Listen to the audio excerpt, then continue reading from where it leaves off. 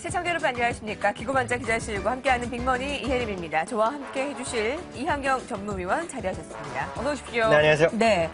다행히 어제의 급락만큼 안 떨어져서 다행이죠? 맞습니다. 네. 시장이 계속 떨어지면 안 되죠. 그만큼 좀 바로 좀 2,000포인트 갔으면 좋겠네요. 외국인의 이탈이 좀 시험대에 오른 것 같습니다. 맞습니다. 저 FMC 회의 그 전까지는 조금은 보수적인 시각이신 거죠? 맞습니다. 시장에서 워낙 불안불안한 구간이 많고요. 특히 에, 아시다시피 이머징 마켓 펀드에서 돈이 워낙 많이 빠져나가고 있는 것 자체는 부담스러운 국면일 수밖에 없겠네요. 네, 우리 설 아, 명절에 딱 알 수 있게 됩니다. 그러니까 우리 증시가 안 열리는 상황에서 FMC 결과를 알게 되니까 조금 그설 명절 앞두고 뭔가 찝찝한 마음이 남아 있는 것이 그것 같습니다. 자, SNS나 블로그를 통해서 오늘 어떠한 종목이 관심을 받고 있는지 화면으로 보겠습니다.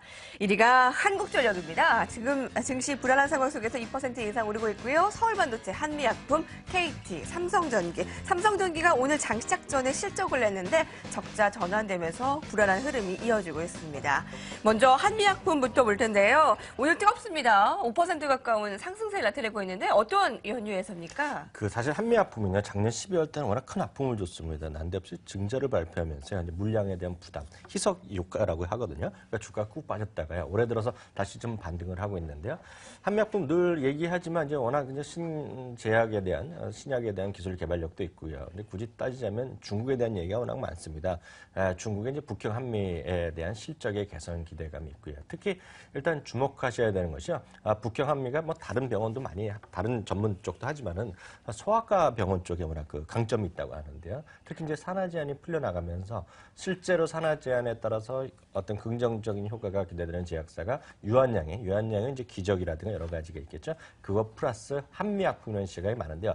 유한양은 12월 때 크게 올랐었거든요. 그러니까 요즘 쉬고 있고요. 한미약품은 작년 12월 말에 쉬었기 때문에 최근에 좀 반등을 먼저 좀 달려가고 있다. 이렇게 하시면 되겠네요. 예. 그럼 현 구간의 전략은 어떻게 세워지는 네, 건가요? 한미약품은 레포트들이 워낙 쏟아지고 있습니다. 네. 증권가의 시각이 워낙 긍정적이 많이 나오고 있고 오히려 목표 주가를 올려가는 쪽도 많이 있거든요. 한미약품은 긍정적 의견 드릴 수 있겠네요. 네, 현 구간의 어, 긍정적인 의견, 제 매수 타이밍이라는 질문에 어, 그래도 어, 양호한 어, 의견이 나왔습니다. 올해 유독 많이 나온 종목이 서울 반도체가 아닐까 싶어요.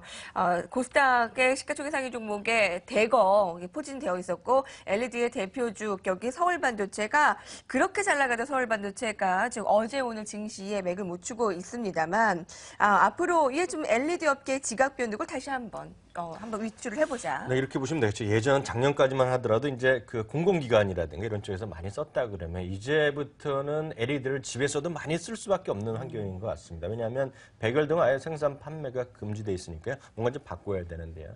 예전만 하더라도 LED 조명은 비싸기만 하고 밝지도 않았다는 얘기가 많았었는데요.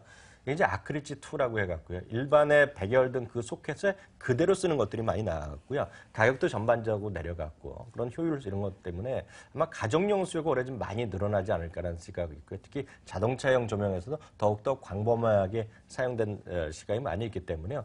서울 반도체는 꼭 국내뿐만 아니라 어, 글로벌리 LED 업계에 대한 어, 긍정적 의견이 많이 있습니다. 그런 관점에서 뭐 단기적인 조정 언제라도 있겠지만은요. 아, 그런 거 너무 개의치 마시고요. 장기적으로 LED 조명 관련 주식 하나쯤 있어야 되는데 그 중에서 글로벌 페이- 리더들과의 어떤 그 patent, 즉 어떤 특허권을 많이 공유하고 있는 서울 반도체가 우리나라에서는 가장 top pick일 수밖에 없다. 이렇게 다시 한번 확인드릴 수 있습니다. LED를 어렵게 생각하지 않고 우리 주변에 실생활을 한번 접목을 시켜보면 좋겠네요. 네, 그렇습니다. 변하고 있는 상황. LG 이노텍 쪽은 어때요? 서울 반도체와 비교를 해봤을 때요. LG이노텍과 삼성전기 상대적으로 다들 하지만은 특히 LG이노텍은 여태까지 그동안 최근 들어서 올랐던 것은 어떤 그 LED 그런 기런 조명 시장보다는 실제로보다 실제로는 아이폰이라든가 아이패드에 들어가는 애플 컴퓨터의 협력 관계였거든요. 근데 오늘 이제 상대적으로 LG 디스플레이는 같이 약한 것은요.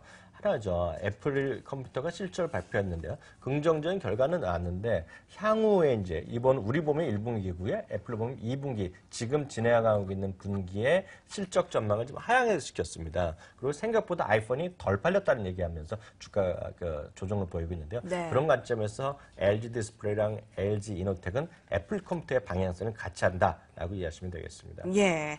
SNS 오늘 핫 이슈 종목 다섯 가지 봤습니다. 이 가운데서 이한경 위원께서 꼽은 오늘의 종목은 어떤 것인지요? 뭐 최근 들어 가장 핫한 것은 한미약품이 되겠고요. 좀 장기적으로 보신다 그러면 올해 관심주 중에 하나는 한국전력 말씀드리고 싶네요. 예, 한국전력이 1위로 올라왔는데 굿모닝 증시교도 저희가 함께하고 있기 때문에. 어, 오늘의 아, 그 종목을 한국전력으로 꼽아주셨잖아요. 네, 그렇습니다. 그것에 한번 어, 한번 전략들 점검을 한- 해본다면요. 저는 한국전력은 그렇게 우리 시청자분들이 좀 편하게 좀 생각하시면 좋을 것. 공공요금 인상 뭐 그렇죠. 이런 것들. 그 예. 결국 요금 인상하는 것 자체가 사실상 우리 개인적인 소비자 입장에서 보면 어찌 보면 악재죠. 짜증나거든요. 전기값 네. 올라가는데 좋아할 사람 세상에 어떻게 있으니까 많으냐?